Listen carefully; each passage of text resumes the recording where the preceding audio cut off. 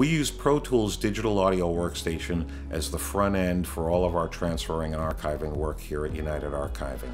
We use a combination of various different high quality analog to digital converters. I work with the clients in terms of that, and we sort of discuss which converters we would like to use for either a two track or a multi track format situation, and arrive at what both myself and the client are most comfortable with in terms of the A to D converters, which are so important in the analog transfer process. They don't really play a part in the digital transfer process because you're doing a straight digital to digital transfer.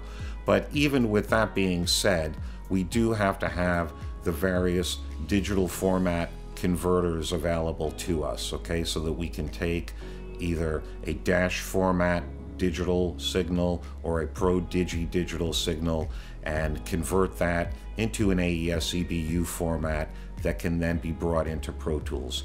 We employ Otari UFC 24s for this, and we find that it works fantastic. And you get a straight one to one digital clone of your original master.